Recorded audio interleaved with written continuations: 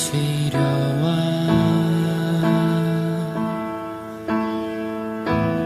사랑의 기억이 차갑게 다가와. 가벼운다. 이제는 더 이상 너를 부정하고 싶지 않은